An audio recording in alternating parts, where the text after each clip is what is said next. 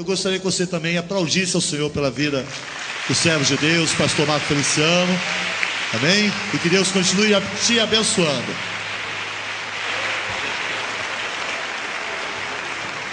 Aleluia. Toda honra, toda glória seja dada ao Senhor dos Exércitos. Vamos nos colocar de pé. Cumprimento os irmãos com a paz do Senhor. Está contratado para caminhar comigo, tá bom? Animar a plateia, me ajuda. Glória a Deus. Os que trouxeram a Bíblia sem perca de tempo, abram-na comigo. Livro dos Salmos. Salmos de número 73. Aleluia. É uma alegria para mim poder retornar aqui ao púlpito da Igreja Batista Filadélfia e rever amigos e rever os anjos dessa igreja, Pastor Walter, Pastor Walter Filho, a nossa matriarca que está cada vez mais bonita, mamãe. Deus abençoe a senhora e a todos os amigos que vieram para prestigiar o reino de Deus. Eu não sei como você entrou aqui, mas eu imagino como você vai sair daqui hoje. Se você tem amizade com a pessoa que está do seu lado, dê o endereço para ela. Porque a unção de Deus pode te pegar aqui hoje, você é perigoso errar o rumo de casa. Então digo para o irmão, se você me encontrar por aí meio assim, me pegue e me leve para casa. Porque hoje ou o céu desce aqui, ou nós vamos fazer uma visita até o céu nessa noite. Posso ouvir um grito de glória a Deus aí, bem forte, bem alto? Maravilha, estou feliz em ver aqui toda a equipe da Missão em Vida, esse pessoal bonito que está aí filmando, a diretoria da Missão em Vida está aqui no púlpito comigo, muito feliz. Está escrito assim no Salmo de número 73. Com efeito, Deus é bom para com Israel, para com os limpos de coração. Quanto a mim, porém, quase se resvalaram os meus pés. Pouco faltou para que se desviassem os meus passos, pois eu invejava os arrogantes ao ver a prosperidade dos ímpios, porque não há apertos nem na sua morte. O seu corpo é sadio, não partilham das canseiras dos mortais, nem são afligidos como os outros homens. Daí a soberba que os cinge como um colar, e a violência que os envolve como um manto.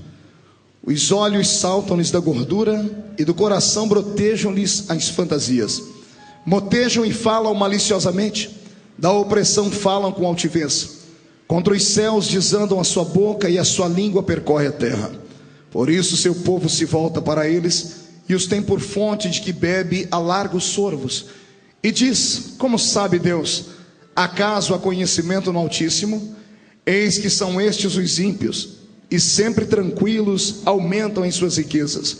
Com efeito, inutilmente conservei puro meu coração, e lavei as minhas mãos na inocência, pois de contínuo sou afligido e a cada manhã sou castigado.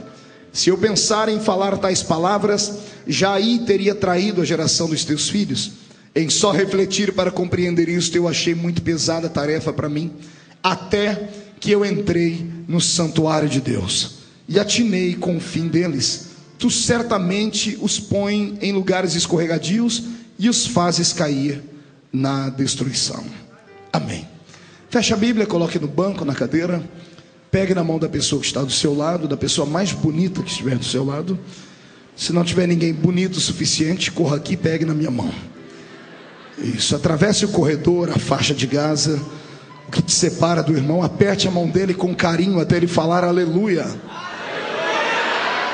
Pentecostal que não faz barulho está com defeito de fabricação. Né?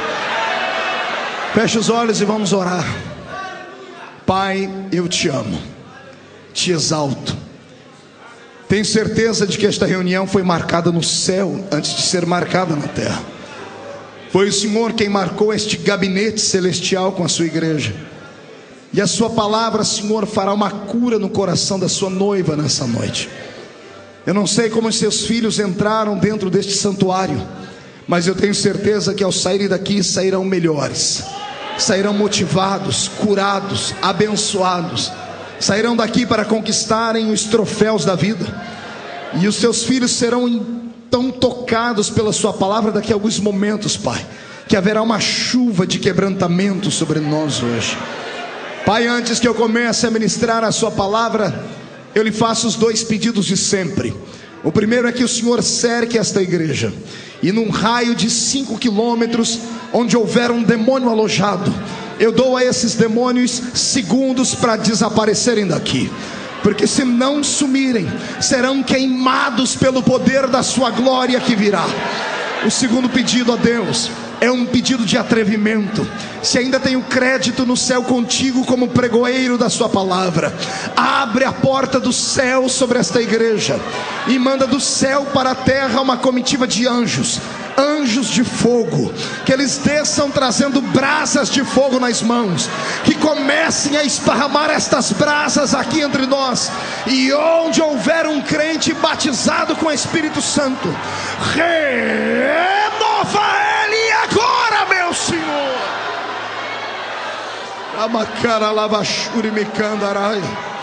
Fala conosco, inunda o nosso coração. Tu não precisas do homem para nada Tu és onipotente. Mostra a sua onipotência hoje, em nome de Jesus. Amém, amém e amém. Antes de se sentar, levante um dedo de profeta para cima comigo. Aponte para o irmão que está do seu lado e diga para ele: escute aqui, cidadão. É hoje, não foi ontem e nem será amanhã. É hoje, o dia em que Deus reservou para responder as tuas perguntas então se segure, prepare o lenço para quando chorar. Se não trouxe lenço, prepare a manga da camisa, a ponta da gravata, porque hoje você sai daqui transformado pelo poder da palavra. Só quem crê nisso, uma salva de palmas a Jesus e tome o seu assento. Aleluia. Tomeis assento, por gentileza. Eu pedi ao Senhor uma palavra para esta noite. E essa noite é diferente de algumas noites que eu costumo pregar. Tem dias que a Bíblia está muito grande e a gente não consegue encontrar nada dentro dela. E hoje várias mensagens brigaram dentro da minha mente para que eu pudesse entregá-las, mas uma só desceu ao coração. E é a mensagem que eu vou pregar para você hoje. Talvez pelo dia de hoje, toda vez que o céu está nublado e a chuva cai, o dia fica meio triste. Não sei se você já percebeu isso. Todas as vezes que cai uma chuva muito forte, o céu fica cinzentado e a gente fica melancólico por natureza. Acredito que por causa disso o Senhor me trouxe à memória este texto e este texto fará um grande milagre na sua história. Eu quero pregar hoje debaixo do tema Socorro no Santuário e depois do socorro, o milagre que vai encontrar a sua vida. Aqueles que me acompanham há algum tempo sabem que eu não sou um pregador do evangelho comum. Eu sou um contador de histórias. O Senhor me deu esse talento. É um talento bonito, é um talento diferente. Acredito que eu herdei isso, pastor Walter, de Jesus. Jesus era um grande contador de história. As suas parábolas envolviam o coração do povo e até as crianças paravam para ouvi-lo. E hoje eu quero aqui, mais uma vez, narrar uma história bela para você.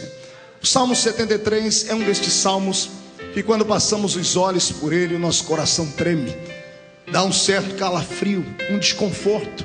Por quê, pastor? Porque geralmente procuramos no livro de Salmos palavras doces. Procuramos salmos como Salmo 23, como Salmo 91, como Salmo 126, o Salmo 51. São salmos que usamos em momentos de dificuldade, proclamando assim a poderosa unção de Deus sobre a nossa vida, o livro de Salmos é um livro de alimento para a nossa alma. São cânticos, são músicas, sonetos e sonatas que o Senhor Deus deu aos seus poetas e eles versejaram e escreveram para nós. Mas o Salmo 73, ele é atípico, é diferente dos outros. Porque eu não tenho aqui neste salmo muita alegria, pelo contrário, tem muita tristeza nele. Tem um homem desabafando com Deus. Eu não sei se ele pensava em escrever este salmo para a posteridade eu acredito que ele estava passando por um momento de muita dificuldade e ele resolveu, ao invés apenas de orar, colocar a sua oração por escrito, para depois meditar naquilo que ele havia escrito.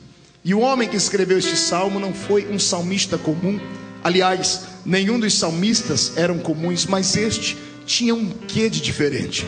Ele tinha dentro de si a mesma unção que tinha o maior de todos os salmistas, que era o rei Davi. Também pudera ele viveu na época de Davi. Ele aprendeu a versejar com Davi. A unção que estava sobre o homem, segundo o coração de Deus, desceu sobre ele. O escritor deste salmo é Asaf. E o nome dele significa Deus dele se apoderou. Asaf deixou para nós um legado de 12 salmos. Ele escreveu o salmo de 50 e depois dos 73 ao 83. Se você pegar os salmos de Asaf e compará-los com Davi, você vai ver que eles tinham a mesma prédica, a mesma oratória, a mesma maneira de se expressar. Falavam em primeira pessoa e usavam sempre uma intimidade que chega a dar em nós, entre aspas, uma inveja santa. Quisera eu ter a intimidade que esses homens tinham com Deus.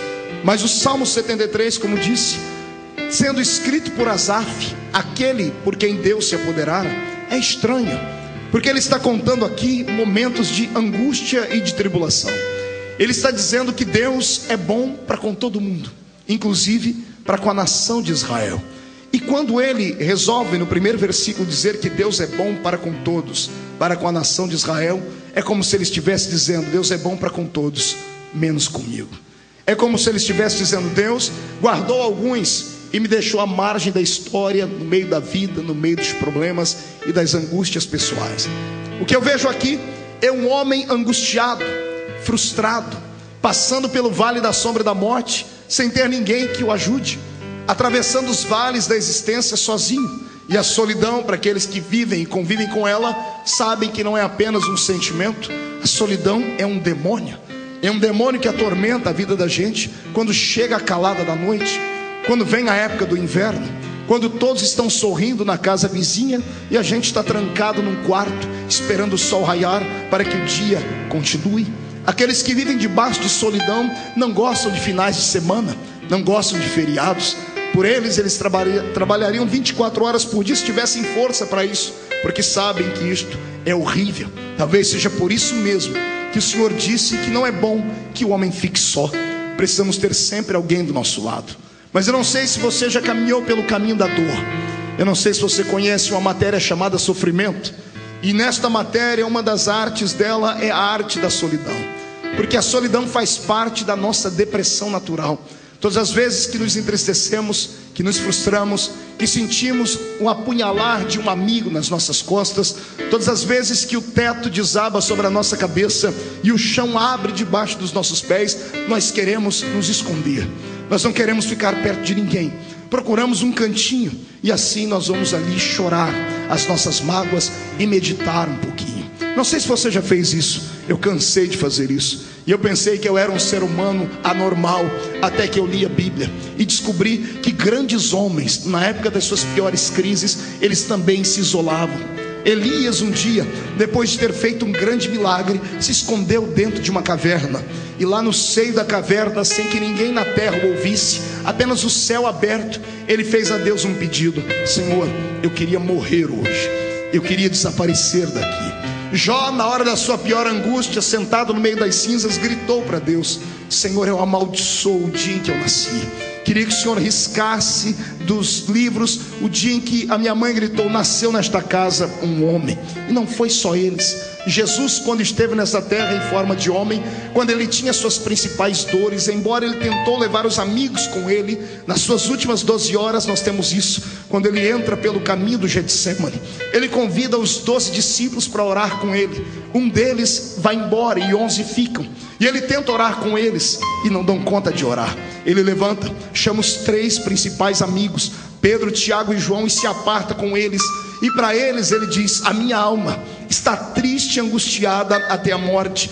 E mesmo tendo tentado orar com eles, ele não deu conta. E ele disse para eles: Fiquem aqui, eu vou entrar dentro desse Getsemane, porque esse Getsemane é só meu.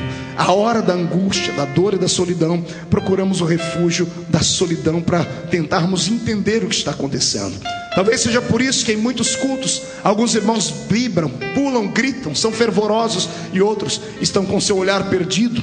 Uns enquanto estão aplaudindo ao Senhor, outros estão chorando por dentro. E alguns, por serem muito severos consigo mesmo, por serem austeros demais, não conseguem esboçar o seu sentimento. Sorriem, mas por dentro estão angustiados. Talvez seja por isso que muitos se calam em uma reunião como essa. Não porque são frios como pregamos, mas só Deus conhece o momento em que eles estão vivendo, o vale de depressão no qual estão. Foi por isso que Deus marcou esta reunião hoje. Talvez tenha sido por isso que Deus fechou o céu sobre o estado do Rio de Janeiro hoje e fez cair uma chuva, para que o seu profeta pudesse olhar para o céu e entendesse que sobre algumas vidas o céu está fechado. Todavia, não existe nuvem negra que impeça Deus de te enxergar na terra. Todavia, não existe vendaval que faça Deus não ouvir o seu gemido. Por isso Deus marcou esta reunião hoje. Se prepare, porque daqui a pouco você não vai ouvir mais esta voz rouca aqui. Você vai ouvir a própria voz de Deus dizendo no seu ouvido: Eu estou contigo no meio deste vale. Eu atravesso com você aqui. Quero te dar uma lição. Eu aprendi neste meu caminhar com Deus que Deus só prova aquele que ele quer aprovar. Talvez seja por isso que ele te trouxe aqui hoje. Oxalá seja o fim da prova. E se não for, aguenta o tranco. Mais cedo ou mais tarde, a prova vai abrir espaço para um pódio. E você que está aqui embaixo será colocado no pódio de Jeová e receberá da mão dele a chave da vitória, o prêmio que o Senhor preparou para ti. Quem concorda comigo, dê um sonoro grito de glória ao nome do Senhor Jesus. Eu estudei a biografia desse homem chamado Azaf e eu me apaixonei por ele. Se você quiser conhecer um pouquinho melhor a história dele, assista um DVD meu chamado Quebrando o Protocolo. E você vai conhecer a história do nascimento do ministério dele. Quando ele tinha entre 14 anos de idade e 15, ele se aproximou do rei Davi, quando Davi dançava ao redor da arca, quando a arca retornava para Jerusalém. Foi ali que ele recebeu este nome de Asaf, porque Deus se apoderou dele ninguém conseguiu segurar o garoto. Ele rompeu a multidão dos levitas, correu até o rei, os soldados deveriam ter matado ele, porque ninguém se aproximava do rei sem passar pela sua escolta, mas o garoto passou ileso. E quando ele tocou na mão de Davi e dançou ao redor da arca, a unção que estava sobre Davi repousou sobre ele. Às vezes, vale a pena fazer loucura, principalmente quando você vê que ainda existe alguém que é diferente na terra. Se você vê Jesus atravessar a multidão, não olhe para a doença que está sobre você, não olhe sobre as pessoas que dizem que você tem que ficar isolado e trancado num quarto se esconda, esconda a sua enfermidade, rompa a multidão e nem que seja para você tocar nas orlas do vestido dele. Toque, e ainda que ele não te veja, ele pode não te ver, mas ele vai virar para trás e vai perguntar: Alguém aqui me tocou? E quem foi que me tocou? Porque saiu virtude de mim. Rompa hoje a barreira do medo e toque no manto sagrado do Senhor que está aqui hoje em forma da Sua palavra. Você concorda comigo? Então dê mais um grito de glória a Deus, porque eu estou me aperfeiçoando com a palavra. Pois bem, como é que um homem de quem Deus se apoderou, como é que um homem que escreve 12 salmos, como é que um homem que tinha uma profissão, que eu não posso chamar de profissão, tenho que chamar de vocação, mas ele vivia desta vocação, podia estar passando um momento tão triste como esse aqui, pastor Joels. Não dá para entender. Porque primeiro ele era levita, diga comigo levita. Não, não, não, murcha a barriga, estufa o peito, diga levita. Quantas vezes nós estamos na igreja e olhamos para os levitas que vão cantar e vimos que os levitas têm um lugar de destaque. Você viu? As irmãs vieram cantar e não cantaram embaixo, vieram cantar aqui em cima. Levita tem lugar de destaque. Olha esse levita aqui, ele é feio, mas está ali, ó, no lugar de destaque, está tocando o seu teclado. É um levita. Todo mundo quer ser levita. Todo mundo quer ter um lugar de destaque. Todo mundo quer ter uma experiência profunda com o seu Deus na área levítica e descobrindo a Bíblia, eu descobri que levita não é só aquele que canta, levita é aquele que consagrou a sua vida ao Senhor. Então eu estou pregando nessa noite para uma geração de levitas, levitas que são desafinados como eu, é verdade. E quando abre a boca para cantar, os vizinhos tapam o ouvido, mas ainda bem que nós temos o Espírito Santo, e é Ele quem intercede por nós com gemidos inexprimíveis. Ele afina a nossa voz, e quando chega diante do Senhor, Deus olha para a gente e pensa que a gente é um rouxinol. Por isso que o Senhor escuta a sua voz de taquara rachada e ainda derrama sobre você um bálsamo de alegria. É por isso que eu te convido hoje a ser um levita do Senhor. Alguns são levitas porque cantam. Mas se você estudar a unção dos levitas, você vai descobrir que o levita, ele tinha no mínimo quatro funções. Ele podia ser o sacerdote, o sumo sacerdote, o escriba ou aquele que tangia os instrumentos. O levita se destacava em várias áreas. Levita, na verdade, era aqueles que nasceram da tribo de Levi. E foram os levitas que, pelo que eu estudei na Bíblia Sagrada, conquistaram o coração de Deus de uma maneira diferente. Quando o Faraó disse que todos os meninos hebreus deveriam morrer, as onze tribos de Israel mais fortes simplesmente se isolaram. Ninguém casava e nem dava-se em casamento mais. Mas a minha Bíblia diz no livro de Êxodo, no capítulo 2, que veio um homem da tribo de Levi e desposou uma moça da tribo de Levi. Casaram-se e não tiveram só um filho, porque Faraó falou que se tivesse um filho homem, ele iria morrer. Eles tiveram dois filhos homem e uma filha mulher. Eu estou falando de Joquebed e Anrão, pais de Moisés, Arão e Miriam. Miriam. Quando o faraó não queria que nascesse um menino, nasceu quase que um super menino, porque o garoto que nasceu tinha tanta intimidade com Deus que até conselhos para Deus ele dava. Deus olhou para a terra um dia e disse: Moisés, eu vou matar todo mundo que está embaixo. E Moisés entrou na frente e disse: Se eu fosse o Senhor, eu não faria isso, porque o que vão dizer as nações? Que o Senhor é um Deus impaciente, que o Senhor orou, criou Israel e não deu conta de segurar e quer matar. Deus coçou a cabeça, olhou e disse: É, você tem razão. Então fale para o povo que ninguém morre. Manda eles marcharem, porque a vitória está com eles. Foi a tribo de Levi quem teve coragem, porque levita é corajoso por natureza. É por isso que quando eu prego, eu prego só para levitas. É claro que no nosso meio nós temos alguns rubenitas, nós temos alguns, ah, ah, nós temos gente de toda a tribo aqui. A tribo de Israel era composta de 12, 12 tribos. Eu descobri a décima terceira. A décima terceira tribo é a tribulação. O que tem de crente que pertence a essa tribo, dê uma olhadinha para a cara do seu irmão e vê se ele é dessa tribo aí. Pastor, como é que eu detecto ele? Se ele tiver com o nariz comprido, me olhando torto e desdenhando, é um crente da tribulação. Agora, se for um crente da tribo de Levi, ele já não vê a hora de eu dar umas rajadas de graça aqui, para ele entrar no reteté de Jesus desse ambiente aqui. Quem é da tribo de Levi, dá um grito de vitória! Oh, glória! Como eu disse, a tribo de Levi é uma tribo de corajosos. É tribo de quem? Não ouvi direito. Tribo do quê? Desculpe, eu estou com um problema no meu ouvido. Tribo do quê? Quem é da tribo de Levi aqui? Levante a mão de coragem para cima, chacoalhe ela. Chacoalhe a mão, coloque no ombro de quem está do seu lado. Tem que ter coragem. Ainda que a pessoa esteja com a cara de delegado de justiça, coloque a mão no ombro dele e agarre o ombro dele. Chacoalhe ele até ele ficar irritado agora. Diga para ele: tem que ser da tribo de Levita. Se for da tribo dos levitas, você é corajoso. E quem é corajoso traz a glória de Deus para a terra. Quem concorda comigo, ah,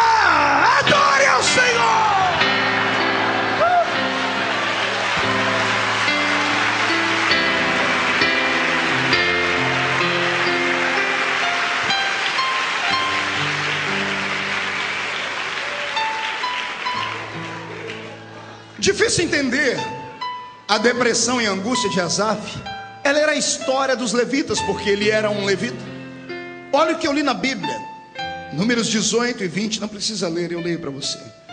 Disse também o Senhor Arão: Na sua terra herança nenhuma terás, e no meio deles nenhuma porção terás, porque eu, Abraão, Arão, eu, eu, Senhor, eu sou a tua porção e a tua herança no meio dos filhos de Israel. Você entendeu aqui? A princípio da tristeza. O Senhor está dizendo assim: Arão, todas as tribos vão ter herança, todas as tribos vão ter o seu presente, mas vocês que são levitas não vão ter herança nenhuma na terra. E antes que todo mundo fique jururu e triste, o Senhor diz: Sabe por que vocês não vão ter herança na terra? Porque eu, Senhor, eu sou a sua herança. Eu sou a sua herança. Aqui Deus estava dizendo a ele: Eu garanto a sua comida, eu garanto a sua bebida, eu garanto a sombra sobre a sua cabeça, eu garanto a casa sobre a sua existência, eu garanto a fortaleza. Os inimigos não tocam em você, os inimigos não têm poder contra a sua vida. Eu darei a vocês o seu quinhão, eu darei a vocês o galardão. Ai, Jesus, isso vai enchendo o peito, porque eu me lembro que sou levita, assim como você tem que entender que você também é levita. Você pode não ter a herança que o mundo tem, você pode não ter um carro importado, nem uma casa nova, mas o Senhor manda dizer: Eu sou a sua herança, levita. Eu te dou aquilo que você precisa, eu te dou o seu sustento e coisas mais. Lendo essas promessas, entendendo que Asaf era um escritor que herdou a unção de Davi, que tinha tanto, eu questionei Deus, por que, que ele está tão triste aqui? Ele está dizendo que o Senhor é bom para todo mundo, menos para ele. E pior não é isso. Ele diz que os pés dele quase se resvalaram. Usando o texto normal, o pé dele quase se desviou. Desviou do que, pastor? Dos caminhos do Senhor. Detalhe: ele não é um adolescente, não é um garoto de 18 anos de idade. Neste dia aqui, ele tinha quase 70 anos de idade. Como é que um ancião, alguém que experimentou Deus de todas as formas, no final da sua vida, com toda a experiência, tem coragem de escrever um salmo como esse? Tem coragem de deixar para a posteridade que ele também passou por um vale tão grande que ele quase se afastou de Deus? Se ele, com quase 70 anos, que tinha e pertencia à folha de pagamento de Deus, que tinha tudo para ser um homem feliz, estava triste. Eu não sou ninguém para lhe acusar. Eu tenho que tentar entender o que você passa. Talvez seja por isso que muitos na igreja não conseguem sobreviver, porque alguns que não conhecem vale, não conhecem tristeza, olham para os demais e querem julgar. Querem entender por que, a pessoa passa por tanta angústia e não consegue firmar os seus passos. Eu quero que você, a partir de hoje, nunca mais acuse ninguém. Se você puder colocar o seu ombro debaixo de alguém, faça isso. Se você puder ter uma palavra de motivação, faça isso. Porque nós não somos robôs, não fomos feitos todos iguais. Cada um de nós tem a sua identidade própria. Cada um de nós tem a sua identidade e a sua individualidade. Cada um de nós é, um, é, é uma caixinha de surpresa diante de Deus. Não somos iguais em nada. Podemos ser aparentes na aparência ou melhor, a nossa aparência pode ser até semelhante à do outro, mas por dentro somos completamente diferentes. Então eu acho que e acredito que seja por isso que Deus é um ser tão misericordioso, porque Ele nos entende e quando Ele olha aqui nesta noite, Ele sabe muito bem porque que você está assim. E hoje Ele vai te explicar como sair dessa situação, porque Deus não te leva para um vale e te abandona lá. Deus é um general passivo e amoroso. É diferente desse exército que nós temos na terra porque o nosso exército, chamado Igreja na Terra, quando vê alguém doente, caído e cambaleando, nós queremos abandonar a pessoa no meio do caminho, ou dar um tiro de misericórdia e matar a pessoa. É isso que fazemos, mas Deus não. Ele é um general que, quando vê um dos seus soldados feridos, ele volta e coloca no ombro esse soldado ferido e carrega ele para uma estalagem para ser curado. Eu quero profetizar sobre a sua vida agora e dizer no nome de Jesus que ainda que um sacerdote te abandonou no meio do caminho levita, ainda que um outro levita te abandonou no meio do caminho, há um samaritano sentado em um grande cavalo, e o trote dos pés deste cavalo já estão se aproximando de você, e ele manda dizer que na rua você não fica. Ele coloca você em cima do cavalo e vai curar as suas feridas, e vai te levar para uma estalagem, e vai pagar para alguém curar a sua história. E você que estava indo para o deserto, vai voltar para a terra da misericórdia. Quem concorda comigo, dê mais um grito de adoração ao nome do Senhor Jesus. Foi depois de tantas perguntas como essas que eu aqui lancei que eu entendi porque é que esse homem estava passando por esse momento de dificuldade. E eu entendi que Deus não chama super-homens para sua casa. Deus não chama mulheres maravilha para sua casa. Deus não tem super-heróis humanos. Deus tem seres humanos que são feitos da mesma matéria. Eu sou feito da mesma matéria que você. Fui fabricado com o mesmo barro, o mesmo pó. Eu não tenho uma estrela na testa, não sou melhor e nem maior do que ninguém. Às vezes as pessoas, quando olham para um pregador, para um cantor, pensam que ele é um super-homem. Só Deus sabe das minhas agruras e as minhas angústias, porque eu também passo por vales. A diferença, talvez, entre eu e você é essa: quando eu passo, eu sei aonde vou e sei a quem recorrer. Eu entro no meu quarto, tranco a porta atrás de mim, dobro o meu joelho e fico à sombra da cruz, esperando que o vento passe. Quando o vento passa, aí você se levanta de novo e dá a volta por cima. A diferença entre eu e você é essa: você passa pelo vale e quer ficar de pé.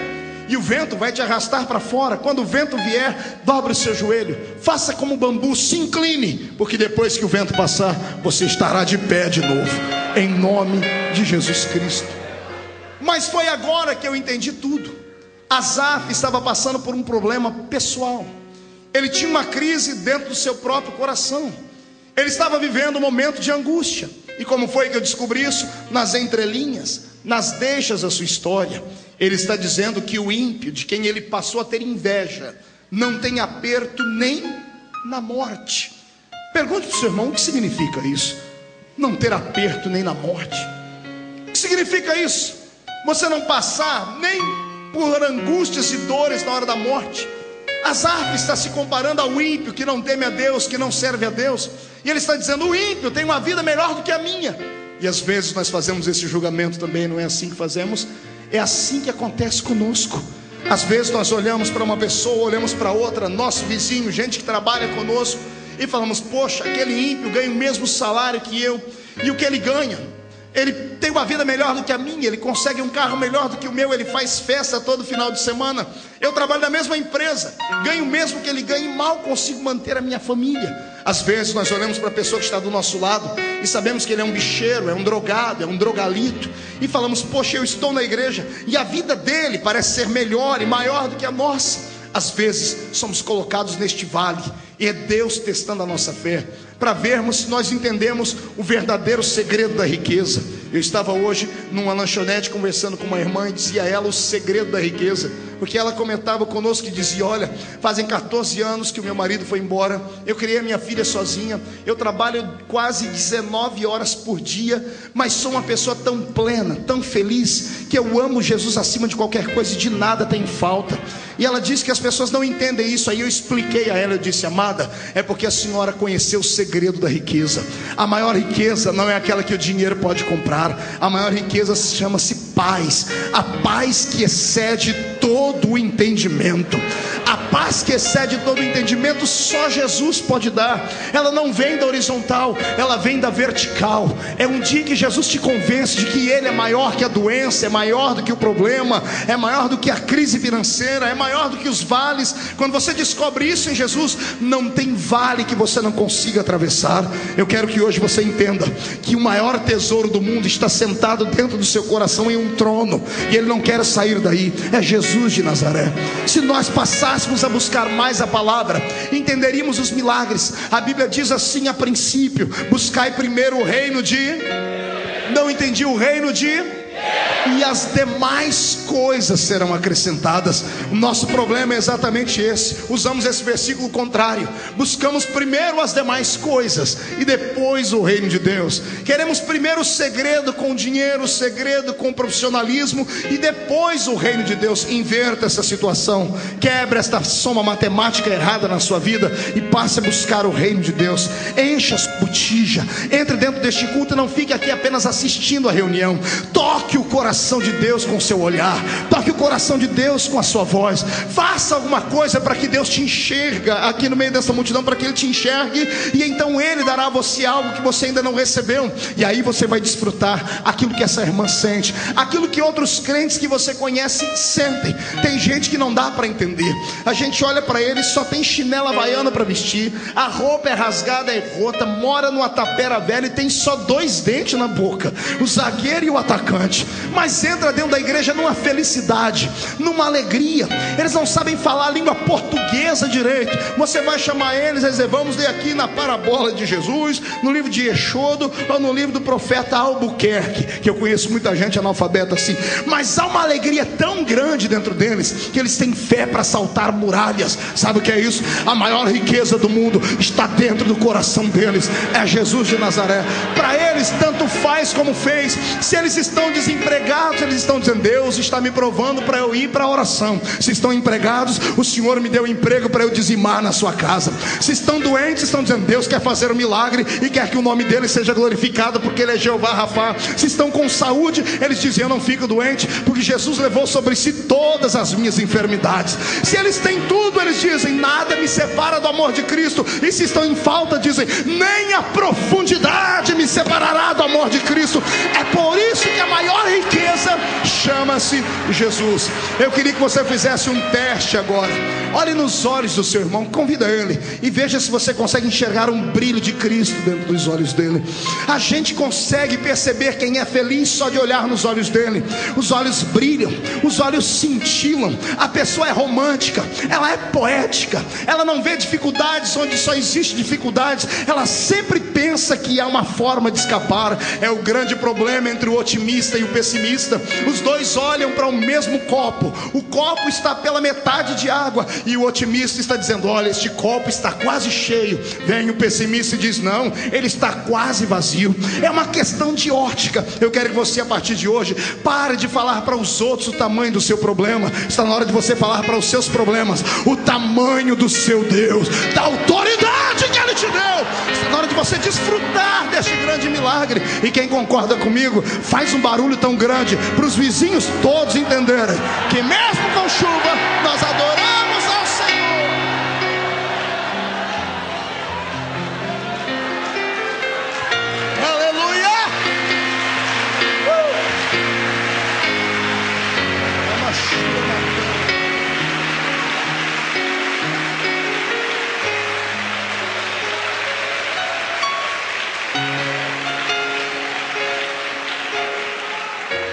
A fortaleza de um homem, o reino de um homem é a sua casa, é a sua família. Se tudo vai bem na família, a gente aguenta tudo, a gente atravessa os buracos. Se a família está do nosso lado e todo mundo tem saúde, a gente vai embora, a gente arruma força. O nosso legado estando com saúde, vendo os barrigudinhos crescerem, ou comendo giló, ou comendo uma comida muito cara, não importa, o que importa é a família estar unida. Mas quando a família é atingida, aí esmorece o guarda da casa. Foi isso que aconteceu com Asaf. Ele tinha chamada. E a chamada do profeta da casa, do levita da casa era forte. Mas e a sua família? E a sua família que não tinha a mesma chamada dele? Embora fizesse parte da história do seu ministério, a família não tinha a mesma a mesma responsabilidade do que ele, de ir ao templo, de consagrar ou de fazer isso ou aquilo. Era apenas a extensão da vida dele. E a história diz que Asaf, no dia da inauguração do templo de Salomão, com 60 e poucos anos de idade, quase 70, quando terminou aquele culto, do lado de fora do templo, todas as pessoas cumprimentando o rei Salomão, cumprimentando a gama de homens importantes que ali estavam, as pessoas pegando na mão do maestro da grande música da, inauguração do templo, dizendo: Olha, nós nunca vimos nada igual. Você regia o santuário, você regia os músicos, e a glória de Deus inundou a casa, ao ponto dos sacerdotes não conseguirem ficar em pé. Que música foi essa? Que salmo foi esse? E aí imagina as pessoas dando os parabéns, dizendo: Olha, parabéns, Azaf. Nós nunca vimos alguém com uma unção tão grande, com uma unção tão forte. Foi aqui começou tudo a acontecer para que ele entrasse em depressão. Foi Jesus quem nos ensinou isso. O problema é que nós não aprendemos. Todas as vezes que Jesus tinha uma grande vitória, todas as vezes que ele vinha de uma grande empreitada evangelística, todas as vezes que um grande milagre acontecia, ele não ia comemorar em churrasco, ele não ia para festas, ele se isolava para orar, porque era natural que a depressão viesse na sequência. Não sei se você já parou para pensar nisso. Elias acabou de matar 850 profetas. 450 de Baal e 400 de Azera. Ele estava com o sangue dos profetas na mão, ele orou, e uma oração de 57 palavras, um minuto e poucos segundos de oração, e Deus derramou fogo sobre o altar e operou o maior milagre de todos até esse momento. E sabe o que acontece com ele? 20 minutos depois, ele está correndo e vai embora, e se esconde no meio do deserto, e vai para dentro de uma caverna e pede a morte. Por quê, pastor? Porque sempre que temos uma grande vitória, parece que o diabo nos atinge. E o diabo atinge a gente com flechas. Parece que ele olha para a gente e diz assim: Você venceu agora. Você ganhou uma parte da batalha, mas a guerra ainda está por vir. Parece que o diabo trama contra nós. E sempre que há uma grande vitória, se prepare em oração. Haverá sempre uma grande retaliação vindo atrás. E Asaf não estava talvez preparado para isso. E quando ele fechou o templo de Salomão na inauguração, ele foi andando pelo meio da cidade porque o templo ficava no centro da cidade, e todo mundo sabe que no centro das grandes cidades só moram os grandes ricos, os fazendeiros, os latifundiários. E quando ele foi passando pelas casas dos homens ricos, ele viu festa. Ele viu os homens saírem nos seus, cavalos, nos seus carros, puxados por cavalos árabes. Viu os príncipes, as princesas. Viu o próprio rei Salomão sair com a sua comitiva. De longe ele viu os fogos do palácio do rei. A inauguração foi perfeita. As pessoas estão comemorando a sua grande festa. E Asaf vai embora para sua casa andando a pé, sem ninguém. Por quê, pastor? Porque ele era um levita. Levita não tinha riqueza. Levita não tinha carro. Levita não tinha roupa bonita. A roupa que ele usou na inauguração do templo foi a roupa que o pai dele usou, que o avô dele usou, que possivelmente o tataravô dele usou, porque era uma roupa de festa, era uma só para cada levita. E enquanto ele caminhava pelo centro da cidade, ia em rumo à casa dos levitas que ficava à parte da cidade. Ele foi passando pela casa dos ricos e viu as festas, e viu, e viu os filhos dos ricos caminhando, e viu as pessoas se alegrando, e ele está sozinho. E quando ele caminha para sua casa, mesmo tendo três filhos, que segundo a Bíblia Sagrada, ou melhor, quatro filhos, três filhos e uma filha, Zacur, José, Netanias e Azarela, eram os quatro filhos dele. A tradição dos hebreus diz que um deles era doente. E eram tão doentes que não podiam se locomover. No maior feito do pai, eles não estavam todos juntos. Mesmo sendo citados na Bíblia Sagrada como filhos do grande músico, não estavam todos ali. No maior momento da sua vida, no momento da consagração do seu ministério, ele está sozinho. E ele não tem um cavalo para levar seus filhos naquele tempo. E quando ele chega no arraial dos levitas, ele olha para sua casa. E a casa dele era uma casa, embora fosse uma casa digna de se morar, era uma casa velha. Mas quando ele andou pelo meio das praças de Jerusalém, ele viu as casas dos ricos. Ele viu a casa dos grandes homens, dos latifundiários, dos fazendeiros. E ele viu suas casas bonitas, gigantescas, bem aparelhadas, cheias de festa. Quando ele chega no reduto dos levitas, ele lembra que a casa que ele está morando é antiga porque o pai morou ali, o avô morou ali, o bisavô morou ali. E ele começa a sentir a necessidade de ter coisas ou dar coisas para os seus filhos que ele nunca teve. E quando ele abre a porta da sua casa e entra dentro do seu casebre, a comida que ele iria comer naquele dia não era o cardápio que ele pediu à sua esposa para fazer, porque o levita só comia aquilo que as pessoas davam para ele comer. Todos os dias era uma surpresa. Alguém batia a casa do levita e dizia: Olha, Deus mandou eu te trazer isso aqui para você comer. E ele começou a se sentir não como um herdeiro de Deus, mas como um pedinte de esmola. Às vezes, quando somos obreiros de Deus, somos levados a pensar isso também.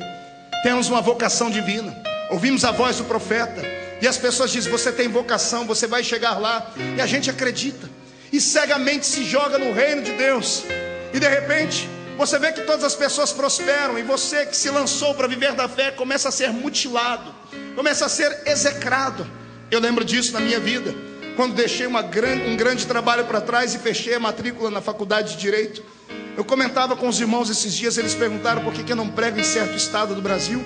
E eu disse, porque todas as vezes que eu ouço o nome desse estado, meu coração treme. Porque todas as vezes que eu lembro do nome desse estado, eu lembro que foi ali que me fecharam portas, porque eu pregava falando a verdade. E por causa dessas portas fechadas, eu fiquei dois meses sem nenhuma agenda. E na metade do segundo mês, a minha filhinha me pedia leite, eu não tinha leite para dar a ela. E eu me lembro da minha filha chorando, pedindo: Pai, eu quero beber leite, eu não tinha leite para dar a ela. É angústia, a depressão que bateu no meu peito, a ira, a raiva a vontade de chutar tudo, e o diabo do meu lado dizendo: se você tivesse estudado, se você tivesse continuado trabalhando naquele trabalho, você teria tudo para sobreviver, você seria um vencedor, seria um médico, seria um advogado, seria alguém importante, que você tem inteligência. E aí você começa a ver o seu reino desmoronar, e aí o efeito da fé passa. O efeito da chamada, que é metafísica, desaparece, e por um momento você começa a olhar com os olhos dos homens. E sabe qual é o sentimento que vem aqui dentro? Inveja, dor. E você começa a sentir náuseas pela sua chamada. Você começa a dizer: será que eu não errei? Será que eu não troquei os pés pelas mãos? Será que Deus me chamou para essa realidade de verdade? Estou pregando isso aqui porque o Senhor me disse que eu, tem muita gente aqui hoje que tem vocação, tem muita gente que tem chamada. Estou pregando aqui para pastores que nunca pastorearam para evangelistas que nunca subiram num púlpito ainda, mas que o coração queima. Estou falando para missionárias que ainda vão pegar o avião e atravessar esse grande oceano Atlântico e fazerem grandes obras para o Senhor. Estou pregando para levitas que vão viver da fé um dia. E você vai se lembrar dessa pregação quando você estiver passando pelo meio do vale sendo provado. E você vai ter forças para atravessar. Porque Deus às vezes nos deixa sozinho para experimentarmos a sua grande proteção.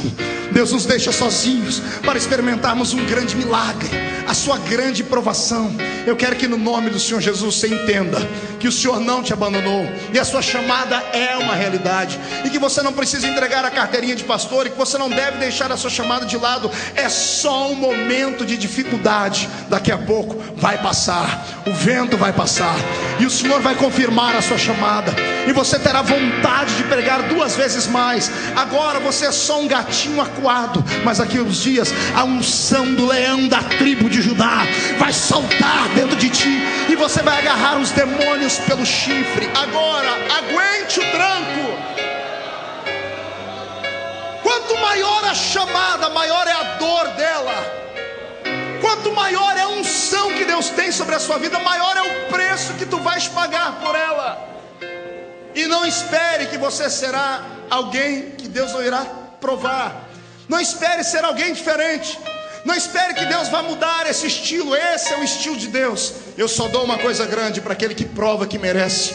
E o homem só prova que merece quando ele passa pelo vale apanhando, caído, arrastado, mas lá na frente ele dá um jeito de levantar e olha para cima e diz: Eu sei que o meu redentor vive, em breve se levantará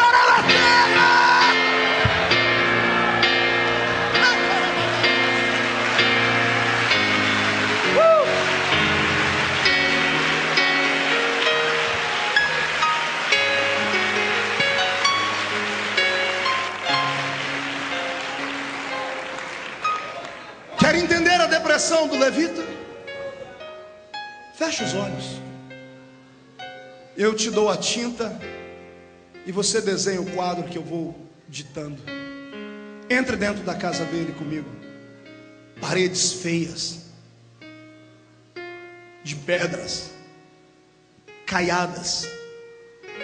Nenhum móvel bonito, mesas de madeira, cadeiras de madeira, cuias em cima da mesa.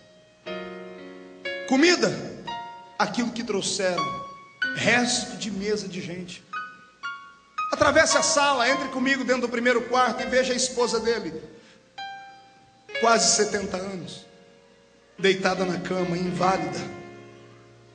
E ele acordando ela depois da inauguração do templo, dizendo: Filha, Deus desceu no templo hoje. A glória foi tão grande que os sacerdotes não conseguiam ficar de pé. Eu imagino ele dizendo aquilo que a tradição dos hebreus diz. A tradição diz que quando Deus desceu dentro do templo, todos os enfermos do lado de fora da casa foram curados. E quando ele diz isso, todos foram curados. Eu imagino ela dizendo: Por que, que o Senhor não veio aqui? E não curou a mim? Não curou o nosso filho que está no outro quarto ali, inválido?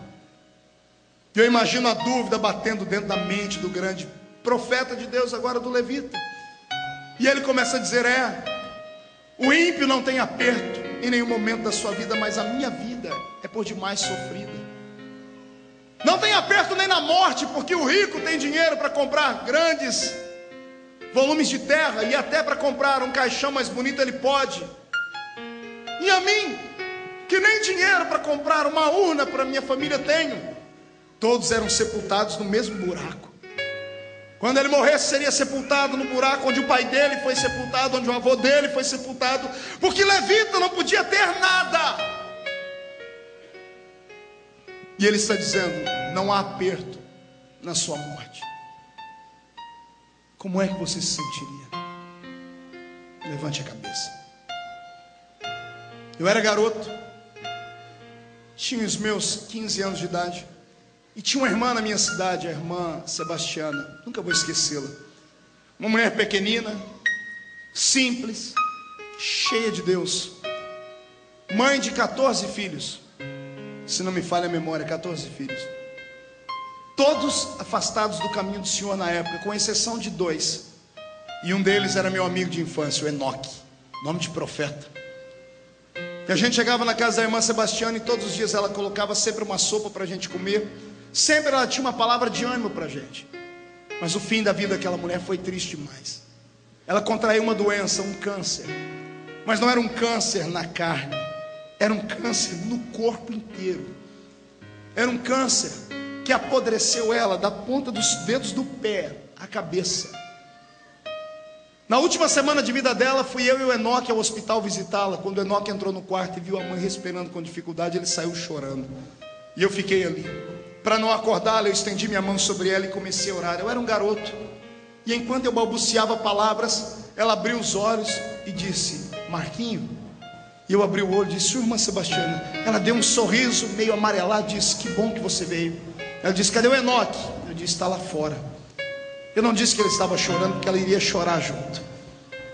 E ela disse: O que você veio fazer? Eu disse: Eu vim aqui orar pela senhora. Vim aqui pedir para Deus lhe dar força. E antes que eu falasse mais alguma coisa, ela parou a minha palavra e começou a dizer: Você está firme com Jesus? Você sabe que o céu está próximo, né? E ela começou a me incentivar a não abandonar a fé. Eu fui confortá-la. E ela começou a me confortar. E ela começou a me dizer coisas tão lindas sobre Jesus. E entre uma palavra e outra, ela fechava o olho e fazia um semblante de dor. Mas ela não abria a boca, não gemia. E a enfermeira, momentos antes, havia dito: ela sente dores que ninguém consegue suportar. Ela estava tomando soro pelo dedo do pé, para você ter uma ideia, porque as veias do corpo dela estavam estouradas. Não conseguiam pegar uma veia do corpo dela. Ela tomava soro pelo dedo do pé. E quando eu via ela gemer, naquela época eu estudava ainda, e eu havia aprendido uma coisa interessante sobre ciências. Por que, que a gente grita quando a gente tem um susto ou quando vem uma dor? É uma mensagem que o nosso corpo manda para o cérebro. Por um momento, nosso cérebro é interrompido. A dor se interrompe por milésimos de segundo. É por isso que quando gritamos, por um momento, somos, parece que ficamos num vazio grande. A dor desaparece por milésimos de segundo. E ela gemendo, eu dizia assim, irmã Sebastiana, grita, geme, solta a voz. E ela dizia assim para mim: Não posso. E eu falei: Por que não? E ela me chamou para baixo. Eu coloquei o meu ouvido perto da boca dela. Ela disse: Está vendo aquela mulher ali à direita? Sim. Ela disse para mim: Ela não é crente. E ela perguntou para mim se o meu Deus me abandonou. E eu disse para ela que não. E ela disse para mim: Eu quero ver até onde você aguenta aí com essa dor. Até onde você aguenta aí. Eu quero ver você gemer aqui dentro. Ela disse: Eu não vou gemer, porque o meu Deus vai me dar força. E eu falei para ela, irmã Sebastiana, por que, a senhora não grita, não dá atenção àquela mulher? Ela disse: Não, se eu gritar, ela vai perder a salvação, ela vai, dizer, ela vai debochar do meu Deus. Então eu vou aguentar firme aqui, porque eu fico em silêncio e o testemunho vai fazer ela aceitar Jesus como Salvador. Isso me tocou muito naquele dia. Dias depois, a irmã Sebastiana foi sepultada. E enquanto eu entrava no cemitério, eu via a tristeza da sepultura de um pobre. Um mês antes foi a sepultura do magnata da cidade. Dois helicópteros sobrevoavam o cemitério soltando rosas, carros importados, e o presidente da república foi na minha cidadezinha, porque era um dos maiores alcooleiros de todo o Brasil. Um homem tinha quase cinco usinas açucareiras, mais de 20 mil funcionários, carros importados, helicópteros por cima, aquela pompa. E agora veio o enterro da irmã Sebastiana meia dúzia de velhinhas do círculo de oração, eu com Enoque, a família, um caixãozinho mais ralé que tinha, uma cova aberta no meio da terra, e quando o caixão vai descendo, o círculo de oração se reuniu para cantar um hino para ela, de despedida. Enoque chorando muito. Quando terminou aquilo, eu fui subindo com ele por uma ruazinha do cemitério, e lá encostado numa parede está o coveiro. E o coveiro, escorado na pá, me chamou e disse: Vem cá, moço, quem é que morreu aí? Eu disse, a dona Sebastiana. Ele disse, ela é muito importante. Eu disse, por quê? Porque eu nunca vi um enterro tão bonito. Eu disse, mas beleza do que o senhor viu? Ora, o senhor não viu quando entrou esse grupo de gente? Atrás entrou um grupo de homens de branco com cap. Ela é da Marinha. O pai dela é da Marinha. O marido dela está na Marinha. Os filhos dela são marinheiros.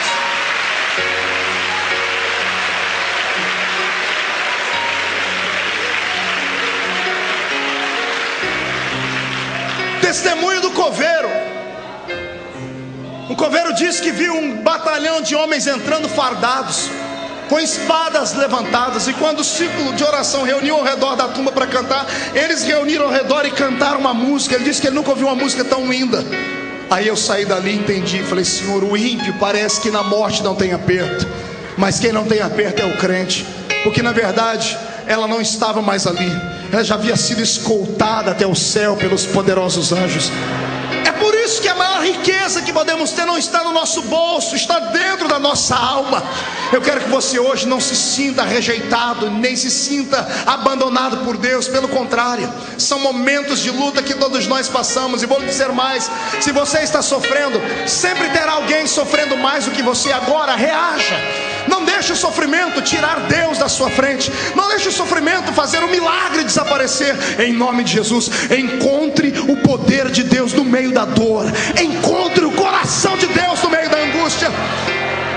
Quem acha que isso é verdade, dê um grito de glória a Deus bem forte aí. Aleluia. Pedro grita no meu ouvido dizendo: o homem que espera em Cristo só para esta vida é o mais miserável de todos os homens. Sabe o que significa isso? Pedro está dizendo: se você vem à igreja só para ter uma cura, você é o mais miserável de todos.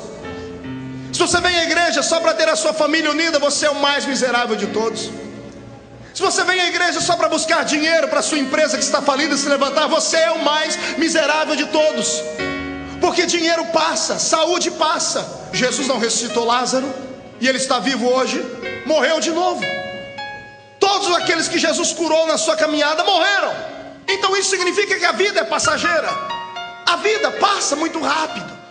Agora aquele que fez uma projeção do seu cristianismo para a eternidade, esse investiu no maior banco que existe, que é o banco da graça do céu. Pastor, mas eu não tenho que servir Jesus por aquilo que ele tem que me dar? É claro que não. Malditos sejam essas religiões de hoje que dizem assim: ó, se Deus é Deus, Ele é obrigado a te dar, porque se Ele não der, Ele não é Deus. Esse não é o meu Deus, porque o meu Deus, se Ele der, Ele é Deus, se Ele não der, Ele é Deus, se Ele fizer, Ele é Deus, se Ele não fizer, Ele é Deus. Não sirvo Jesus por aquilo que Ele tem que me dar, eu sirvo a Ele por aquilo que Ele já me deu. Ele me deu um nome escrito no livro da vida do céu. Se uma bala perdida acertar o meu coração agora, o corpo cai em terra, mas a minha alma voa para as moradas celestes.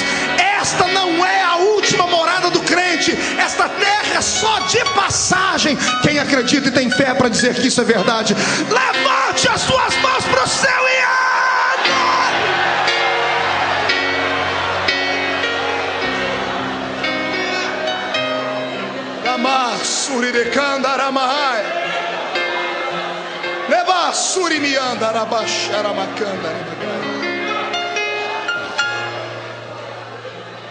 Se você está de pé ainda, é porque você não foi testado o suficiente. Aguente, porque antes de você tombar em terra, Ele se levanta e te dá o troféu da vitória. Eu creio nisso. Você crê nisso? Não conheço um homem de Deus uma mulher de Deus que não traga no seu corpo as marcas da dor, do sofrimento.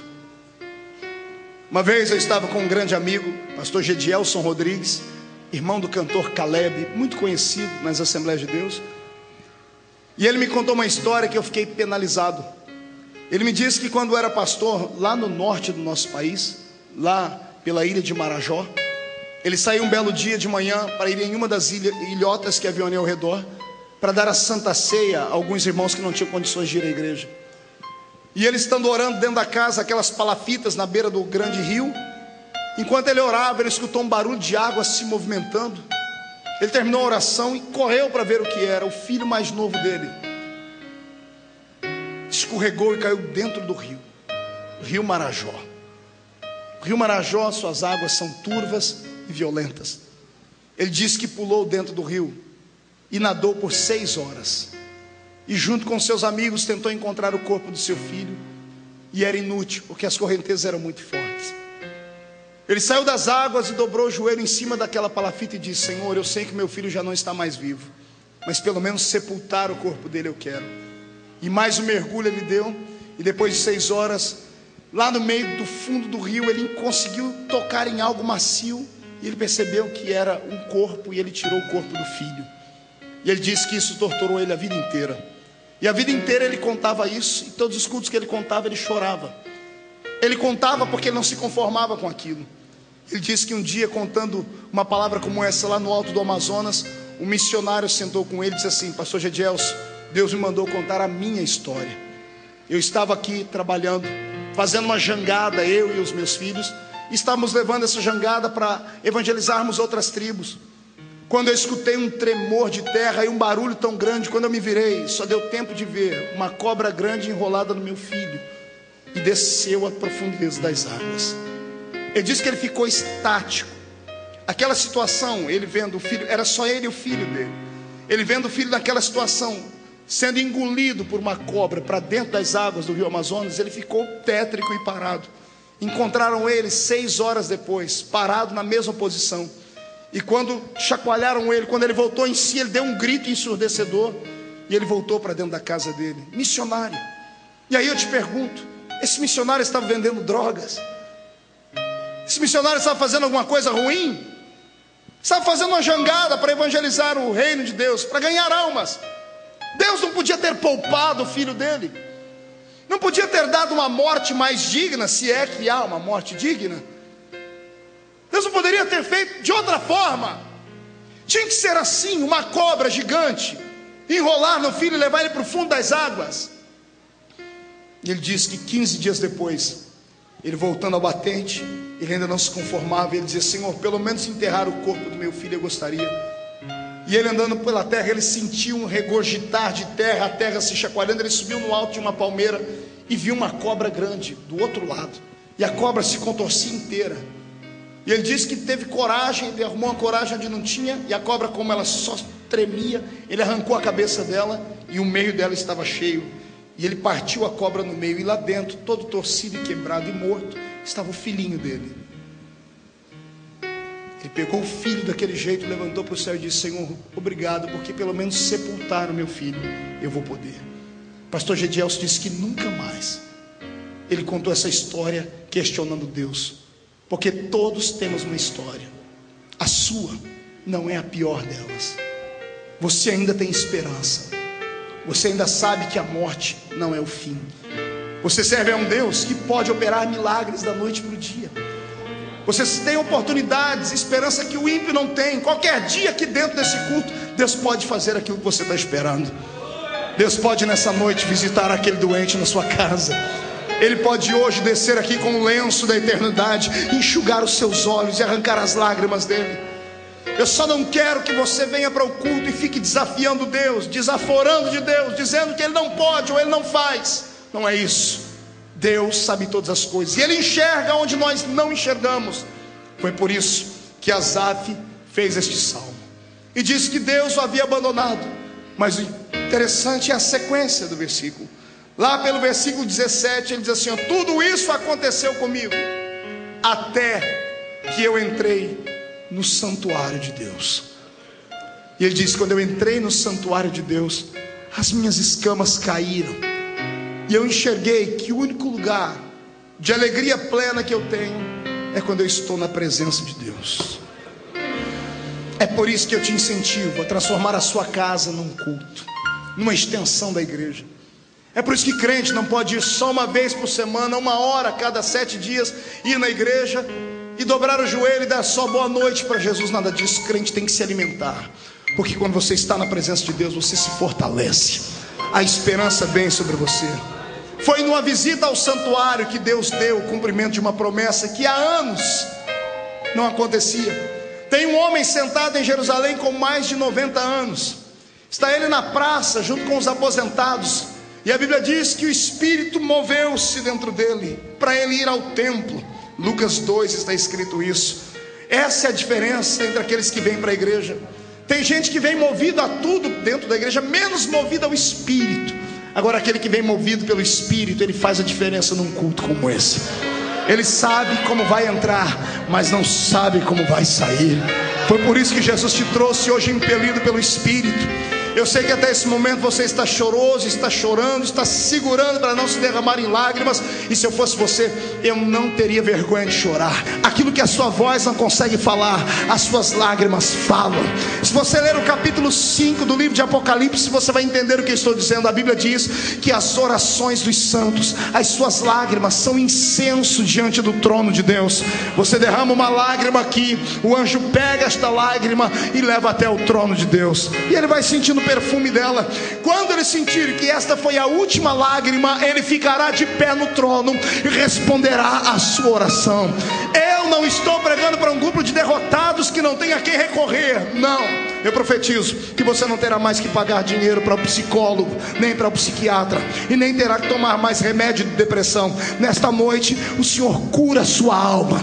Ele traz à existência a força que está aí rompida dentro de você. Só que você tem que arejar a sua mente. É para isso que entramos no culto. Grito de crente não é só efusão pentecostal, clichê pentecostal ou filosofia pentecostal. Grito de crente é o sopro da sua alma buscando alívio. Quando você dá um grito dentro da igreja, os céus inteiros tremem por causa do seu grito e do seu clamor. Quando você ora em línguas estranhas, você cochicha dentro de Deus e fala coisas que ninguém entende, só Ele entende. Então eu te desafio nesta hora. Eu te desafio a parar de olhar para os problemas, a parar de orar para o ímpio, a parar de olhar para aquele que tem, para aquele que pode, para aquele que fez. Eu quero que você fixe seu olhar na cruz, porque você também é merecedor de ajuda. E hoje, nem que o Senhor Deus tenha que mover do céu uma legião de anjos para te socorrer, Ele fará isso, porque você é importante para Ele. Deus não é como o homem, o homem mede você por aquilo que você tem no bolso. Se for rico, tem oportunidade, se for pobre, não. Se for bonito, é visto, se for feio, não. Deus não. Deus mede você pelo tamanho da paixão que está dentro da sua alma nesta hora. Se você é como Asaf e cantou um cântico de tristeza como esse, comece a se alegrar, porque hoje você entrou no santuário de Deus. E aqui no santuário você está ouvindo a palavra, e a palavra vai te socorrer. Eu profetizo que as promessas de Deus que te foram feitas não vão morrer até que elas se cumpram na sua história. Não morre a promessa e não morre aquele que foi prometido. A enfermidade não te arrasta para a sepultura até que Deus não te dê alegria plena. Eu profetizo em nome de Jesus que o choro que está durando uma noite terminará, porque a alegria virá logo ao amanhecer. Eu profetizo em nome de Jesus que esta cara triste, feia que está agora vestindo o seu rosto vai dar lugar para alegria, porque você vai começar a sentir agora algo que o homem não pode te dar, que é a paz que excede todo o entendimento. Pastor, como é que eu faço para sentir esta paz? Basta fechar os olhos, colocar a depressão de lado e começar a dizer: Eu sei que o meu redentor vive e ele vai se levantar agora.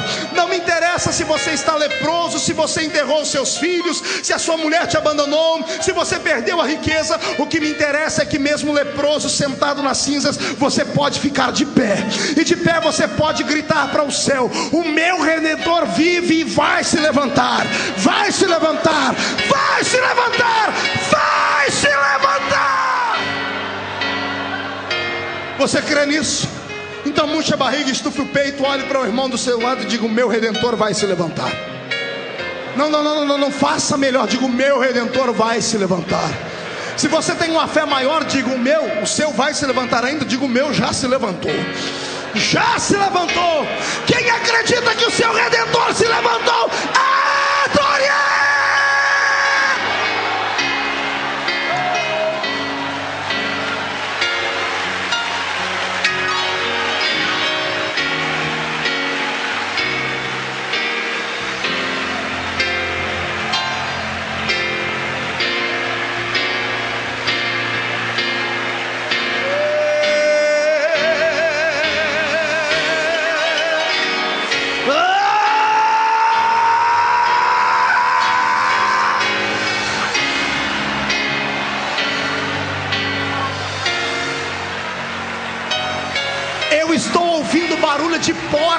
Abrindo.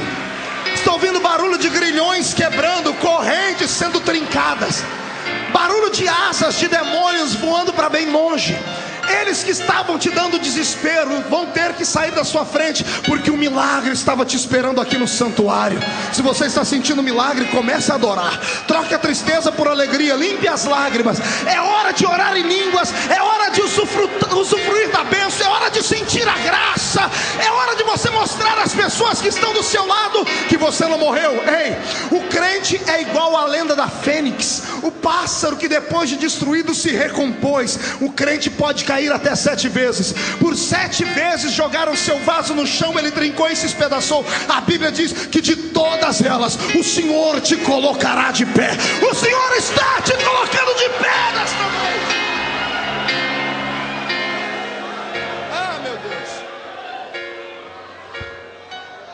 Vem, Simeão. Na praça a promessa não se cumpre, em casa também não. Entra no templo. Pastor, mas eu já sou velho, tenho 90 anos. Não me interessa, há um milagre no santuário. Venha. E é dentro do santuário que você vai esperar por alguns minutos e daqui a pouco, Simeão, vai entrar lá dentro um casal. Uma moça de meia idade e um senhor já mais velho. Um bebezinho no colo. A festa será completa, até músico Deus vai mandar para o templo, Salomão. É claro que a, a, a cantora tinha 90 anos de idade também, mas não tem problema, era cantora da época. Só vocês, um culto particular. E quando você pegar o bebê no colo para apresentar ao Senhor, dê uma olhadinha no rosto dele.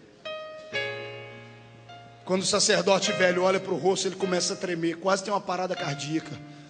Levanta o bebê e diz: Agora eu posso morrer porque os meus olhos viram a promessa se cumprir aqui dentro. Quem vem movido para o culto pelo Espírito de Deus, pega Jesus no braço e ainda dá um abraço nele. Você crê nisso? Faça isso então. Agarre Jesus nesta noite e diz: Senhor, daqui eu não saio, daqui ninguém me tira. Ana, não adianta ficar chorando em casa. Não adianta ficar com raiva de penina, Ana. O milagre está no santuário. Corre lá, ah, pastor, mas o santuário, o sacerdote vai dizer que eu estou bêbado. Não dê atenção a ele. Se ele te chamar de bêbado, levante a sua voz e diz: Eu não estou bêbada, eu só quero meu milagre. Eu quero meu milagre. Eu quero meu milagre. E a promessa vai vir por ter entrado no santuário. Você que era grávida vai ter um filho. Gere o seu milagre aqui dentro hoje. Gere o seu milagre. O meu Deus está dizendo para mim que as trompas espirituais que estavam ligadas, Ele está desamarrando elas, vão voltar a ficar frutíferas a partir de hoje. Você volta a desfrutar os milagres do seu Deus a partir de hoje. Vem. O que foi que aconteceu com você? A sua mão ficou podre e ressequida? Vem para o santuário. Entra no santuário e senta bem na frente. Deixa as pessoas te chamarem de aleijado. O que importa é que quando Jesus entrar no santuário e ver a sua mão ressequida, ele vai tocar nela e vai dizer: ser curado. Alguém vai dizer, mas ele não merece porque hoje é dia de sábado. E Jesus vai tomar a frente e vai dizer: se você cuida do seu cachorro, do seu jumento, do seu boi no dia de sábado, eu cuido dos meus filhos aleijados no dia de sábado. Levanta com a sua mão curada, mas adore ao Senhor.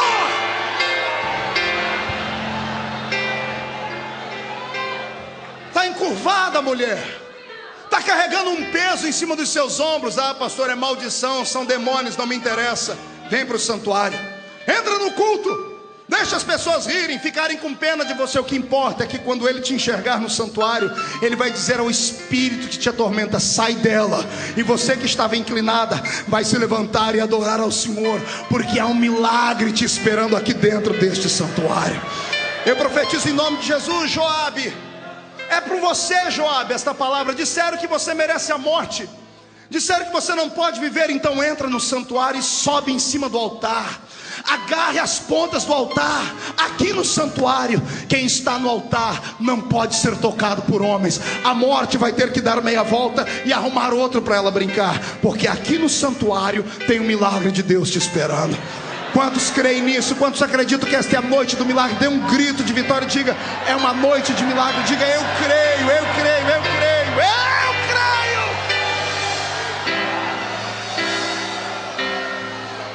Sharamanagassuri Mikandarai. Incline a sua cabeça. e dê valor à sua igreja. Dê valor aos cultos da sua igreja.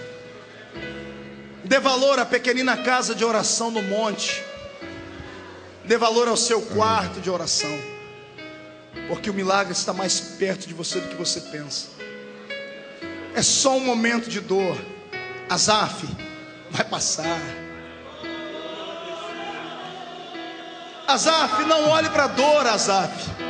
Olhe para o dom que Deus te deu. Só você pode trazer Deus para dentro da igreja. Não olhe para o filho enfermo.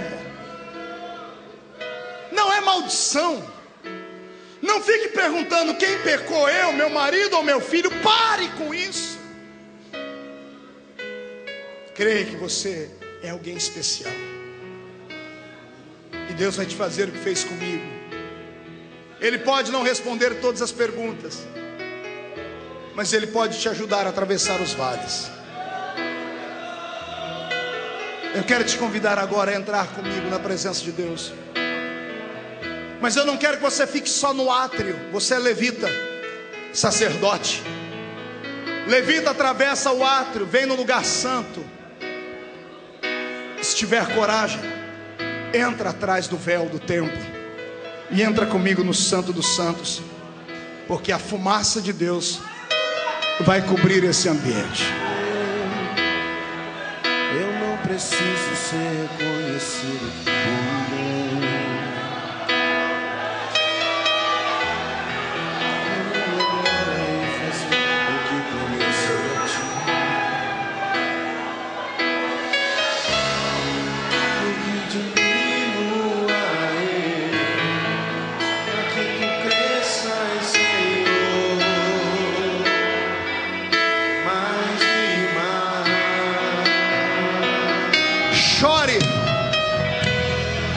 Vem sentir o amor de Deus.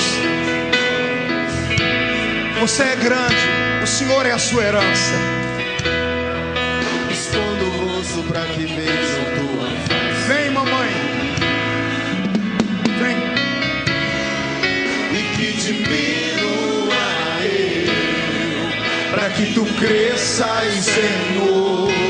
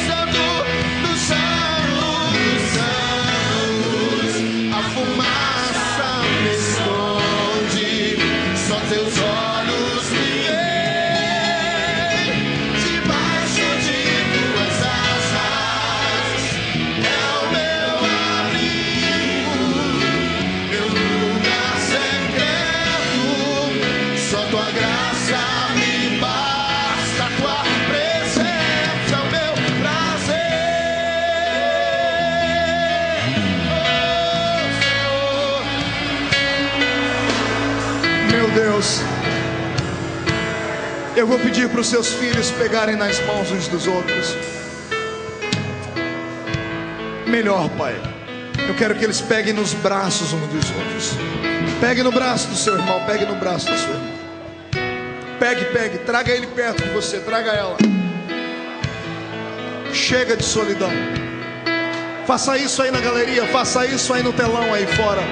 Faça isso aqui no púlpito, faça isso aí, faça.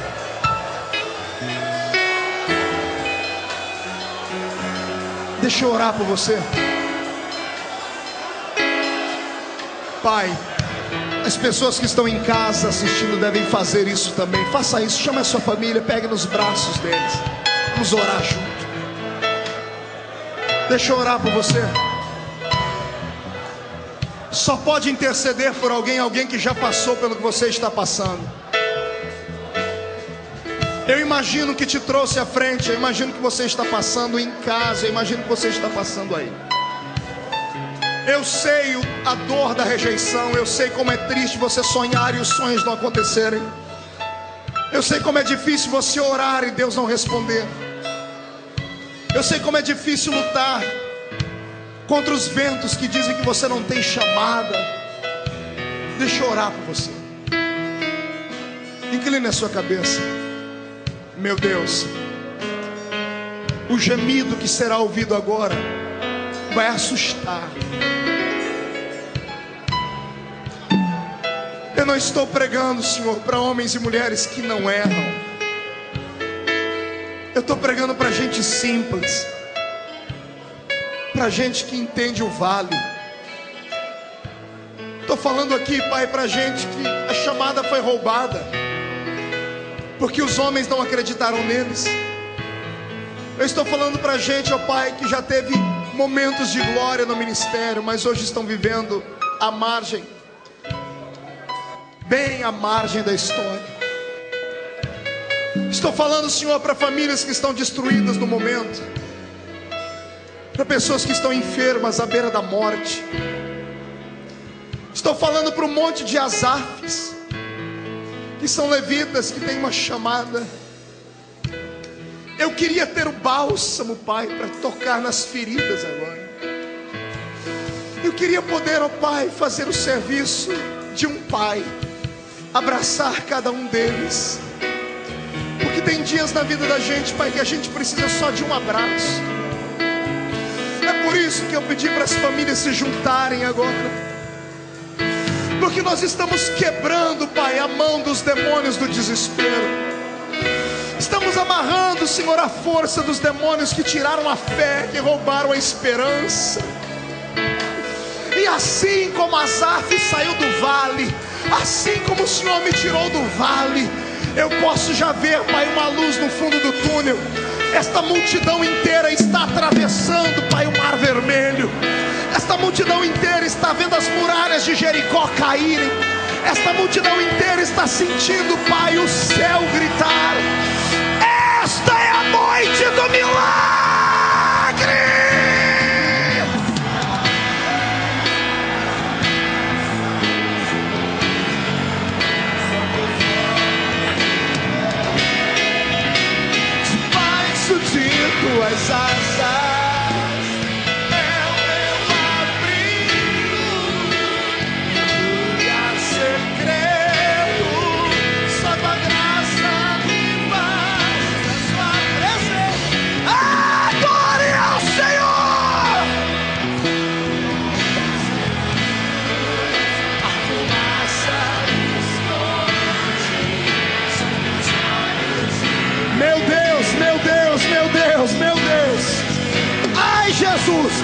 Jesus.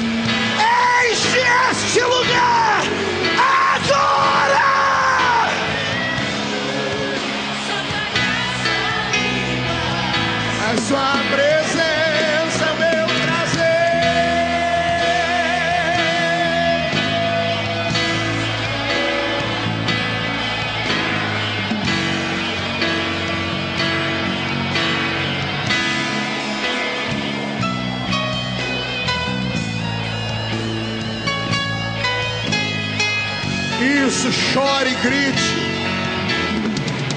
Comece a adorar, comece a adorar, comece a adorar. O milagre chegou, comece a adorar.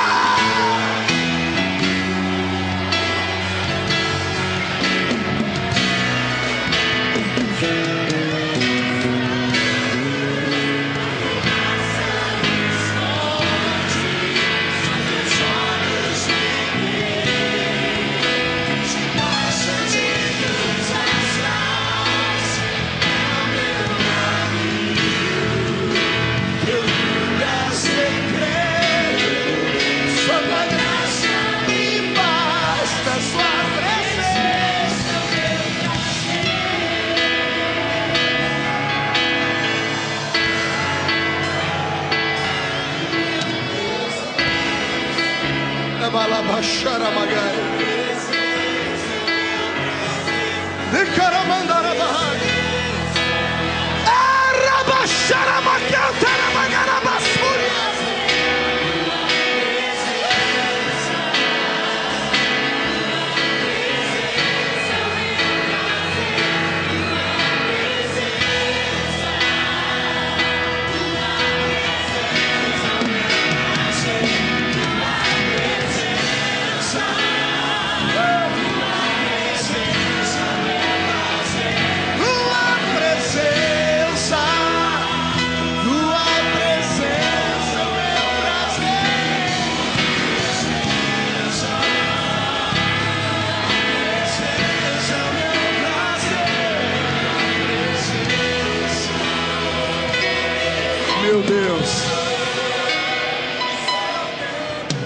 Levante as duas mãos para o céu.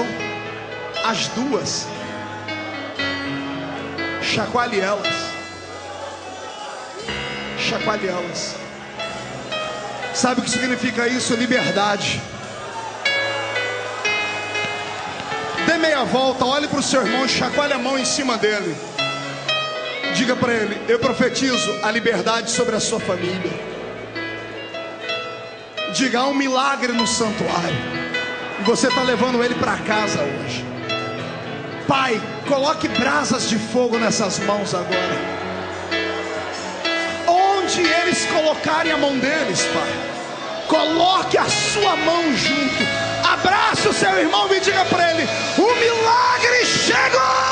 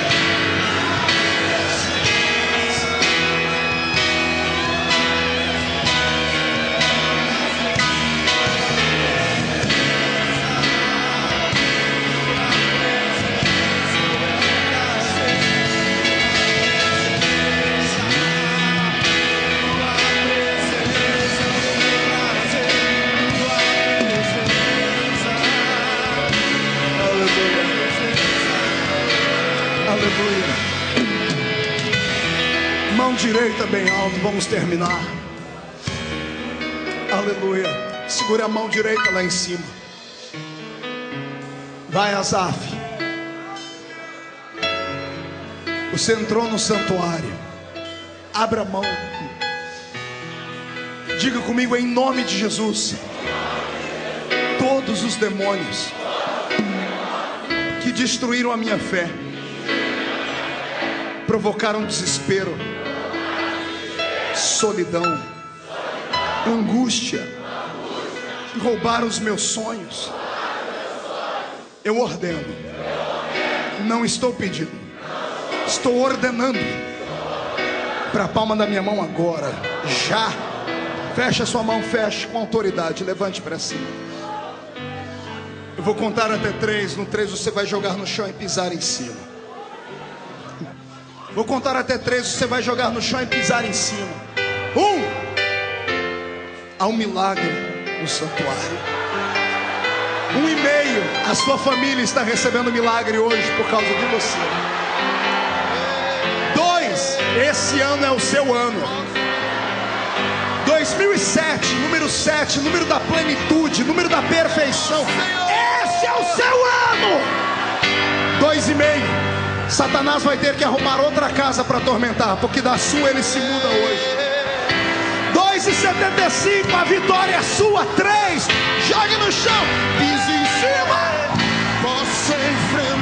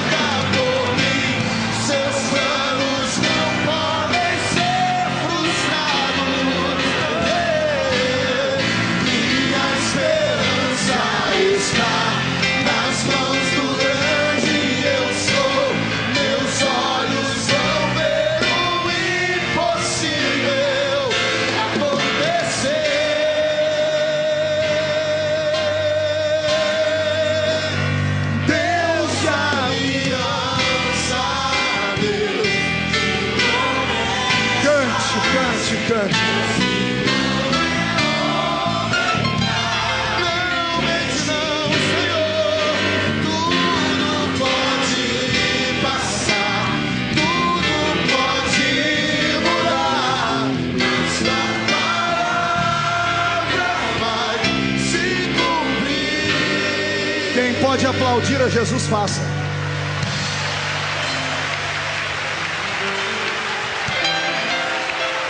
Quem pode aplaudir e gritar, faça. Quem pode aplaudir, gritar e salta!